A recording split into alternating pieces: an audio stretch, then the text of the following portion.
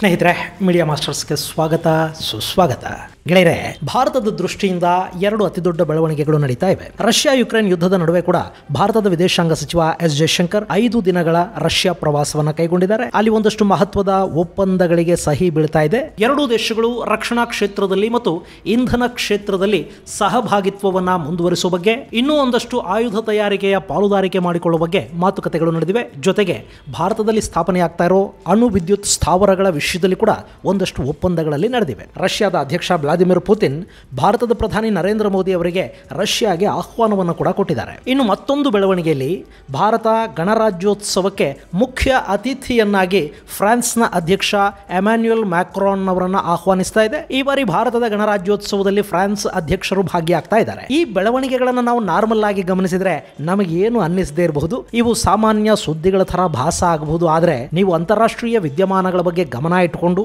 ಈ ಎರಡೂ ಘಟನೆಗಳನ್ನು ಪರಿಶೀಲಿಸಿದ್ರೆ ಖಂಡಿತ ಇಲ್ಲಿ ನಿಮಗೆ ಹೊಸತೇನು ಕಾಣೋದಕ್ಕೆ ಶುರುವಾಗುತ್ತೆ. ರಷ್ಯಾ ವಿರುದ್ಧ ಇಡೀ ಪಶ್ಚಿಮದ ದೇಶಗಳು ನಿಂತಿರುವಾಗ ರಷ್ಯಾದ ದಾಳಿಯನ್ನ ಒಮ್ಮೆ ಆದರೂ ಭಾರತ ಖಂಡಿಸಲಿ ಅಂತ ಭಾರತದ ಮೇಲೆ ನಿರಂತರವಾಗಿ ನಾನಾ ರೀತಿಯ ಒತ್ತಡಗಳು ಬರ್ತಾ ಇರುವಾಗ, ಪನ್ನು ಕೇಸಲ್ಲಿ ಅಮೆರಿಕ ಭಾರತದ ಮೇಲೆ ದೋಷಾರೋಪಣವನ್ನು ಮಾಡ್ತಾ ಇರುವಾಗ, ಕೆನಡಾ ಮಾಡ್ತಿರೋ ಆರೋಪಗಳನ್ನ ಸಮರ್ಥಿಸ್ತಾ ಅಮೆರಿಕ ಕೆನಡಾಕ್ಕೆ ಬೆಂಬಲವಾಗಿ ನಿಂತಿರುವಾಗ, ಪಾಕಿಸ್ತಾನದ ಸೇನಾ ಮುಖ್ಯಸ್ಥ ಅಮೆರಿಕಾಗೆ ಭೇಟಿ ಕೊಟ್ಟು ಅಲ್ಲಿನ ಬಾಸುಗಳ ಜೊತೆ ಮೀಟಿಂಗ್ ಮಾಡಿ ವಾಪಸ್ ಬಂದಿರೋ ಸಂದರ್ಭದಲ್ಲಿ ಬಾಂಗ್ಲಾದೇಶದಲ್ಲಿ ಭಾರತ ವಿರೋಧಿ ಸರ್ಕಾರವನ್ನು ತಂದು ಕೂಡಿಸೋದಕ್ಕೆ ಅಮೆರಿಕ ಪ್ರಯತ್ನ ಪಡ್ತಿರೋ ದಿನಗಳಲ್ಲಿ ಭಾರತದ ವಿದೇಶಾಂಗ ಸಚಿವರು ರಷ್ಯಾ ಪ್ರವಾಸ ಕೈಗೊಳ್ತಾರೆ. ಅದು ಕೂಡ ಐದು ದಿನಗಳ ಕಾಲ. ಹಾಗೆ ಭಾರತದ ಗಣರಾಜ್ಯೋತ್ಸವಕ್ಕೆ ಫ್ರಾನ್ಸ್ ಅಧ್ಯಕ್ಷರಿಗೆ ಆಹ್ವಾನ ಹೋಗುತ್ತೆ ಅಂದ್ರೆ ಇದರಲ್ಲಿ ನಿಮಗೆ ಏನೋ ವಿಶೇಷ ಇದೆ ಅಂತ ಅನ್ಸೋದಿಲ್ವೇ? ಭಾರತ ಇಲ್ಲಿ ಪಶ್ಚಿಮದ ಜಗತ್ತಿಗೆ ಏನೋ ಮೆಸೇಜ್ ಅನ್ನ ರವಾನೆ ಮಾಡ್ತಾ ಇದೆ ಅನ್ನೋ ಅನುಮಾನಗಳು ಬರೋದಿಲ್ವೇ? ಖಂಡಿತ ಬರುತ್ತೆ ಮತ್ತು ಭಾರತ ನೇರವಾಗಿ ಅಮೆರಿಕಾಗಿಲ್ಲಿ ಒಂದು ಮೆಸೇಜ್ ಅನ್ನು ಕೊಡ್ತಾ ಇದೆ. ಇಲ್ಲಿ ಯಾರು ಯಾರಿಗೂ ಅನಿವಾರ್ಯ ಅಲ್ಲ. ನೀವು ನಮಗಿದ್ರೆ ಮಾತ್ರ ನಾವು ನಿಮಗೆ ಅನ್ನೋ ಸಂದೇಶವನ್ನ ನೇರವಾಗಿ ಭಾರತ, ಅಮೆರಿಕ ಮತ್ತು ಅದರ ಆಂಗ್ಲೋ ಸ್ಪೇರ್ ಮಿತ್ರರಿಗೆ ರವಾನೆ ಮಾಡ್ತಾ ಇದೆ. ಹಾಗಾದ್ರೆ ಇಲ್ಲಿ ಆಗ್ತಾ ಇರೋದೇನು? ಬನ್ನಿ ನೋಡೋಣ.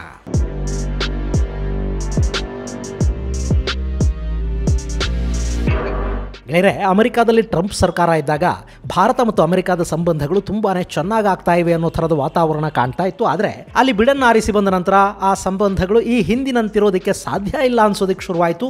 ಆದರೂ ಬಿಡನ್ ಸರ್ಕಾರ ಭಾರತವನ್ನು ದೂರ ಮಾಡ್ಕೊಳ್ಳೋದಕ್ಕೆ ಹೋಗಲಿಲ್ಲ. ಭಾರತದ ಜೊತೆಗೆ ಸಂಬಂಧಗಳನ್ನು ಈ ಹಿಂದಿನಂತೆ ಮುಂದುವರಿಸೋ ಮಾತಾಡ್ತು. ಒಂದಷ್ಟು ಹೊಸ ಒಪ್ಪಂದಗಳಿಗೆ ಸಹಿ ಬಿತ್ತು. ಭಾರತದ ಜೊತೆ ಯುದ್ಧ ವಿಮಾನಗಳ ಇಂಜಿನ್ ತಂತ್ರಜ್ಞಾನ ಹಂಚಿಕೆಗೆ ಅಮೆರಿಕ ಮುಂದಾಯಿತು.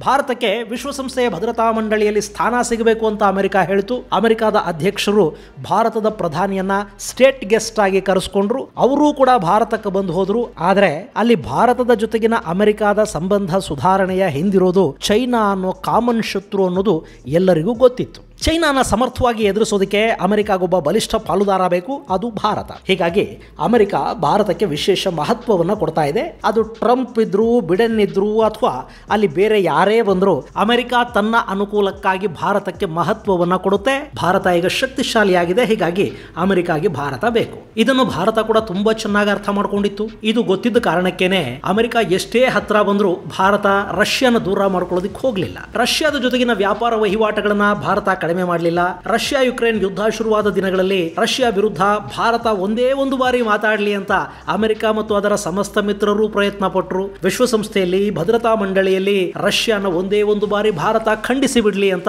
ಅಮೆರಿಕ ಬಯಸ್ತು. ಆದರೆ ಭಾರತ ಎಲ್ಲೂ ಕೂಡ ರಷ್ಯಾ ವಿರುದ್ಧ ಮಾತಾಡೋದಿಕ್ಕೆ ಹೋಗಲಿಲ್ಲ. ರಷ್ಯಾದ ತೈಲವನ್ನ ಭಾರತ ಖರೀದಿ ಮಾಡೋದಕ್ಕೆ ಶುರು ಮಾಡಿದಾಗ ಅಮೆರಿಕದ ಸಮಸ್ತ ಮಿತ್ರರು ಭಾರತದ ವಿರುದ್ಧ ಮಾತಾಡಿದ್ರು. ಆದರೆ ಭಾರತ ಅದಕ್ಕೂ ತಲೆ ಕೆಡಿಸ್ಕೊಳ್ಳಿಲ್ಲ.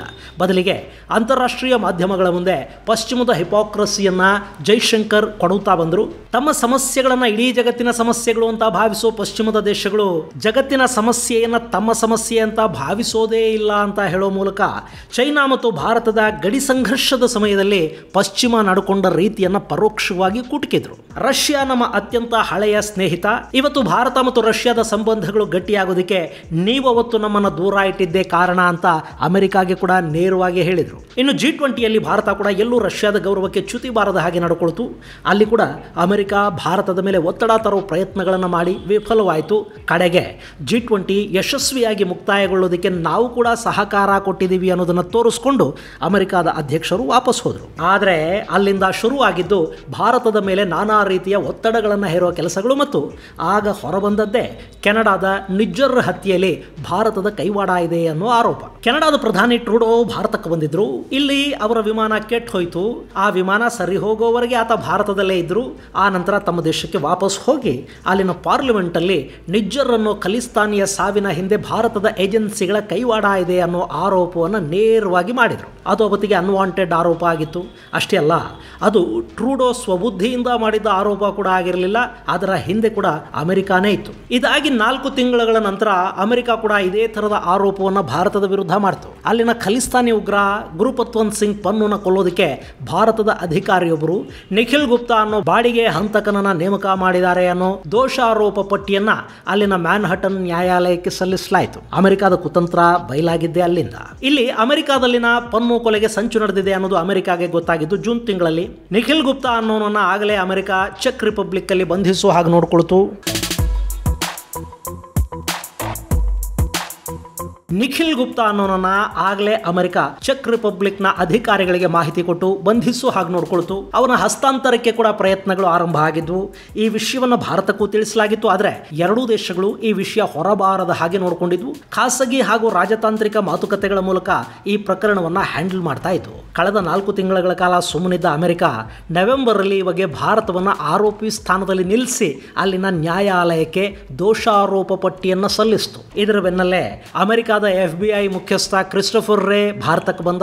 ಇಲ್ಲಿ ಎರಡು ದಿನಗಳ ಕಾಲ ನಮ್ಮ N S A Ajit Doval ಅವರನ್ನ ವಿಕ್ರಮ್ ಮಿಸ್ರಿ ಹಾಗೆ ಎನ್ ಐ ಎ ಮತ್ತು ಸಿಬಿಐ ಮುಖ್ಯಸ್ಥರ ಜೊತೆ ಚರ್ಚೆಗಳು, ಮಾತುಕತೆಗಳು ಆದವು. ಭಾರತ ಪನ್ನು ಬಗ್ಗೆ, ಅವನ ಅಪರಾಧ ಚಟುವಟಿಕೆಗಳ ಬಗ್ಗೆ ಒಂದು ಡೊಸೈರನ್ನೇ ಕೊಡ್ತು. ಈ ಪನ್ನು ಅಮೆರಿಕದ ನೆಲದಲ್ಲಿ ನಿಂತು ಹೇಗೆ ಭಾರತದ ವಿರುದ್ಧ ಕೆಲಸ ಮಾಡ್ತಾ ಇದ್ದಾನೆ ಅನ್ನೋದನ್ನ ಅಮೆರಿಕಾಗೆ ತಿಳಿಸಲಾಯಿತು. ಭಾರತೀಯ ವಿಮಾನಕ್ಕೆ ಬಾಂಬ್ ಬಿಡೋ ಬೆದರಿಕೆ, ಭಾರತದ ಪಾರ್ಲಿಮೆಂಟ್ ಮೇಲೆ ದಾಳಿ ನಡೆಸೋ ಬೆದರಿಕೆ, ವಿಶ್ವಕಪ್ ಕ್ರಿಕೆಟ್ ಪಂದ್ಯಾವಳಿ ನಡೆಯೋ ಸ್ಟೇಡಿಯಂ ಅನ್ನು ಉಡಾಯಿಸುವ ಬೆದರಿಕೆಗಳು, ಇಲ್ಲಿ ಮಾದಕ ದ್ರವ್ಯಗಳ ಕಳ್ಳ ಸಾಗಾಣಿಕೆ ಉಗ್ರವಾದಕ್ಕೆ ಪೋಷಣೆ, ಎಲ್ಲದರ ಬಗ್ಗೆ ಅಮೆರಿಕಾಗೆ ಮಾಹಿತಿ ಕೊಟ್ಟು, ಅವನ ವಿರುದ್ಧ ಇದುವರೆಗೆ ನೀವೇಕೆ ಕ್ರಮ ತಗೋತಾ ಇಲ್ಲ ಅಂತ ಭಾರತ ಕೇಳಿದ ನಂತರ ಕ್ರಿಸ್ಟೋಫರ್ ರೇ ಭಾರತದಿಂದ ಅಮೆರಿಕಾಗೆ ವಾಪಸ್ ಹೋಗ್ತಾನೆ. ಆತ ಹಾಗೆ ಹಿಂತಿರುಗಿದ ಮರುದಿನಾನೇ ಅಮೆರಿಕ ಚುನಾವಣೆಗಳ ಕಾರಣವನ್ನು ಕೊಟ್ಟು ಬಿಡೆನ್ ಭಾರತದ ಗಣರಾಜ್ಯೋತ್ಸವದಲ್ಲಿ ಭಾಗವಹಿಸೋದಿಲ್ಲ ಅಂತ ಹೇಳುತ್ತೆ. ಇದೆಲ್ಲ ಕೂಡ ಭಾರತವನ್ನು ಬಗ್ಗಿಸಿಕೊಳ್ಳೋ ಪ್ರಯತ್ನದ ಭಾಗ.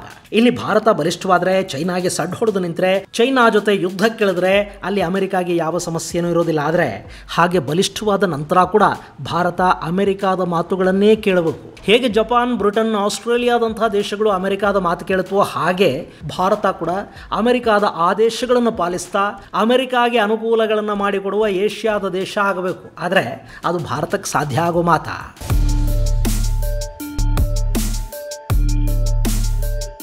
ಇಲ್ಲಿ ಯಾವಾಗ ಅಮೆರಿಕಾದ ಈ ರೀತಿಯ ಒತ್ತಡಗಳು ಹೆಚ್ಚಾಗೋದಕ್ಕೆ ಶುರುವಾದವೋ, ಭಾರತ ಕೂಡ ತನ್ನ ನಿಲುವಲ್ಲಿ ಬದಲಾವಣೆಗಳನ್ನು ಮಾಡಿಕೊಂಡಿದೆ. ಸಾಮಾನ್ಯವಾಗಿ ಮೀಡಿಯಾಗಳನ್ನು ಹತ್ತಿರ ಬಿಟ್ಕೊಳ್ಳೋದ ಪ್ರಧಾನಿ ನರೇಂದ್ರ ಮೋದಿ, ಬ್ರಿಟನ್ನ ಫೈನಾನ್ಷಿಯಲ್ ಟೈಮ್ಸ್ಗೆ ಒಂದು ವಿಶೇಷ ಸಂದರ್ಶನವನ್ನು ಕೊಡ್ತಾರೆ. ಆ ಸಂದರ್ಶನದಲ್ಲಿ ಕೆಲವೇ ಕೆಲವು ಘಟನೆಗಳನ್ನು ಅಂತಾರಾಷ್ಟ್ರೀಯ ಸಂಬಂಧಗಳಿಗೆ ತಳುಕು ಹಾಕೋದು ಸರಿಯಲ್ಲ. ಜಗತ್ತಿನ ದೇಶಗಳ ನಡುವಿನ ಸಂಬಂಧ ಇಂಟರ್ ಡಿಪೆಂಡೆಂಟ್ ಆಗಿರುತ್ತೆ.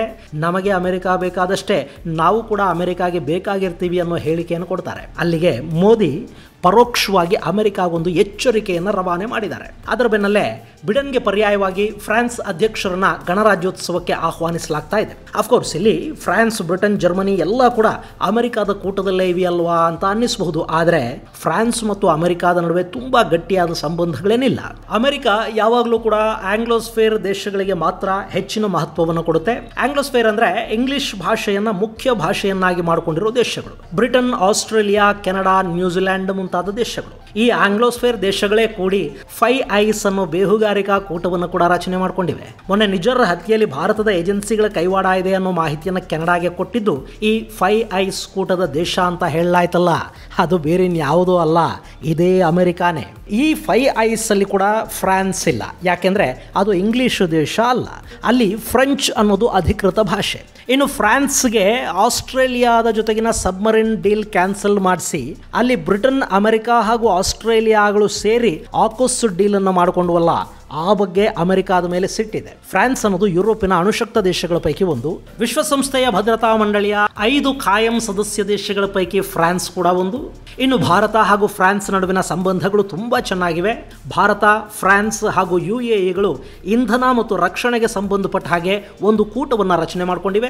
ಭಾರತ, ಫ್ರಾನ್ಸ್ನಿಂದ ರಫೇಲ್ ಯುದ್ಧ ವಿಮಾನಗಳನ್ನು ಖರೀದಿ ಮಾಡಿದೆ. ಜೊತೆಗೆ ನಮ್ಮ ಸಬ್ಮರಿನ್ ತಯಾರಿಕೆಯ ಪ್ರಾಜೆಕ್ಟ್ ಅಲ್ಲಿ ಕೂಡ ಫ್ರಾನ್ಸ್ ಇದೆ. ಹೀಗಾಗಿ ಪಶ್ಚಿಮದಲ್ಲಿ, ನ್ಯಾಟೋದಲ್ಲಿ ಕೂಡ ನಮಗೆ ಅಮೆರಿಕಾನ ಹೊರತುಪಡಿಸಿ ಅತ್ಯಾಪ್ತ ಮಿತ್ರರಿದ್ದಾರೆ ಅನ್ನೋದನ್ನ ಭಾರತ ಅಮೆರಿಕಾಗೆ ತೋರಿಸ್ತಾ ಇದೆ. ಮ್ಯಾಕ್ರಾನ್ ಅವರನ್ನ ಗಣರಾಜ್ಯೋತ್ಸವಕ್ಕೆ ಆಹ್ವಾನಿಸುವ ಮೂಲಕ.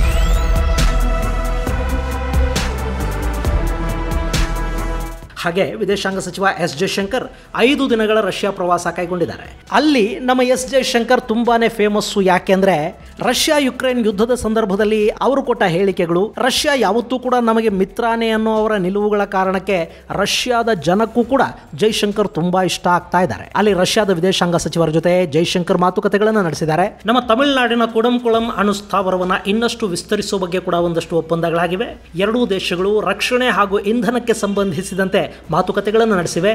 ಜೊತೆಗೆ ಯುರೇಷಿಯನ್ ಹೂಡಿಕೆಗಳು ಮತ್ತು ಮುಕ್ತ ವ್ಯಾಪಾರ ಸಂಬಂಧದ ಬಗ್ಗೆ ಕೂಡ ಇಲ್ಲಿ ಮಾತುಕತೆಗಳಾಗಿವೆ. ಅಲ್ಲಿಗೆ ಅಮೆರಿಕಾಗೆ ಭಾರತ ನಾವೀಗಲೂ ಕೂಡ ತುಂಬ ತಟಸ್ಥವಾಗಿದ್ದೀವಿ ಅನ್ನೋದನ್ನು ತೋರಿಸ್ತಾ ಇದೆ. ಹೇಗೆ ನಿಮ್ಮ ಸಮಸ್ಯೆಗಳು ಮಾತ್ರ ನಿಮಗೆ ಸಮಸ್ಯೆಗಳಾಗತ್ವೆ, ಜಾಗತಿಕ ಸಮಸ್ಯೆಗಳು ಆಯಾ ದೇಶಗಳಿಗೆ ಸಂಬಂಧಪಟ್ಟ ಸಮಸ್ಯೆಗಳು ಅಂತ ನೀವು ಭಾವಿಸ್ತಿರೋ ಹಾಗೆ ನಮಗೂ ಕೂಡ ನಮ್ಮ ಅನುಕೂಲಗಳು, ನಮ್ಮ ಹಿತಾಸಕ್ತಿಗಳು ಮಾತ್ರ ಮುಖ್ಯ ಆಗತ್ವೆ. ನಾವು ರಷ್ಯಾದ ಜೊತೆಗೆ ಇನ್ನೂ ಹೆಚ್ಚಿನ ಸಂಬಂಧಗಳನ್ನು ಮಾಡಿಕೊಡ್ತೀವಿ ನಮಗೆ ನೀವು ಅನಿವಾರ್ಯ ಅಲ್ಲವೇ ಅಲ್ಲ ಅನ್ನೋ ಸಂದೇಶವನ್ನು ಭಾರತ ಇಲ್ಲಿ ಅಮೆರಿಕಾಗೆ ಕೊಡೋದಕ್ಕೆ ಹೋಗ್ತಾ ಇದೆ. ಒಟ್ಟಾರೆ ಬಿಡನ್ ನೇತೃತ್ವದ ಅಮೆರಿಕ ತನ್ನ ಸಾಕಷ್ಟು ಬಲಿಷ್ಠ ಮಿತ್ರರನ್ನ ತನ್ನ ವರ್ತನೆಯ ಮೂಲಕ ದೂರ ಮಾಡ್ಕೊಳ್ತಾ ಹೋಗ್ತಾ ಇದೆ. ಸೌದಿ ಅರೇಬಿಯಾ ಅಮೆರಿಕಾದಿಂದ ದೂರ ಆಯಿತು. ಜಪಾನ್ ಕೂಡ ಇನ್ಮೇಲೆ ನಿಮ್ಮ ಅಗತ್ಯ ನಮಗೆ ಬೇಕಾಗದೇ ಇರಬಹುದು ಅನ್ನೋ ಸಂದೇಶವನ್ನು ಅಮೆರಿಕಾಗೆ ಕೊಡ್ತಾ ಇದೆ. ಆಸ್ಟ್ರೇಲಿಯಾ ಒಮ್ಮೆ ಅಮೆರಿಕ ಜೊತೆ, ಇನ್ನೊಮ್ಮೆ ಚೈನಾ ಜೊತೆ ಕಾಣಿಸ್ಕೊಳ್ತಾ ನಮಗೆ ನಮ್ಮ ಲಾಭ ಮುಖ್ಯ, ನಿಮ್ಮನ್ನ ನಂಬೋದಿಕ್ಕೆ ಆಗೋದಿಲ್ಲ ಅನ್ನೋದನ್ನ ಅಮೆರಿಕಾಗೆ ಅರ್ಥ ಮಾಡಿಸ್ತಾ ಇದೆ. ಈಗ ಅದೇ ರೀತಿಯ ಸಂದೇಶ ಭಾರತದ ಕಡೆಯಿಂದ ಕೂಡ ಹೋಗ್ತಾ ಇದೆ.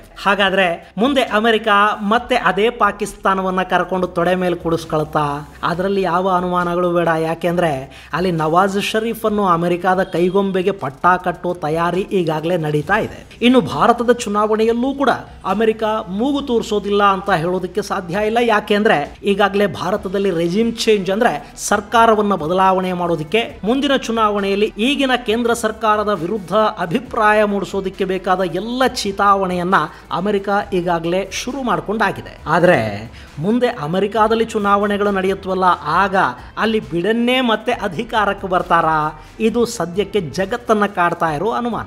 ಇದು ಗೆಳೆಯರೆ, ಭಾರತ, ರಷ್ಯಾ ಹಾಗೂ ಫ್ರಾನ್ಸ್ಗಳ ಮೂಲಕ ಅಮೆರಿಕಾಗೆ ಕೊಡ್ತಾ ಇರೋ ಮೆಸೇಜ್ಗೆ ಸಂಬಂಧಪಟ್ಟ ಒಂದಷ್ಟು ಮಾಹಿತಿ. ಮುಂದಿನ ಸಂಚಿಕೆಯಲ್ಲಿ ಮತ್ತಷ್ಟು ವಿಶೇಷಗಳ ಜೊತೆ ಮತ್ತೆ ಭೇಟಿಯಾಗೋಣ ಅಲ್ಲಿವರೆಗೆ. ಜೈ ಹಿಂದ್, ಜೈ ಕರ್ನಾಟಕ.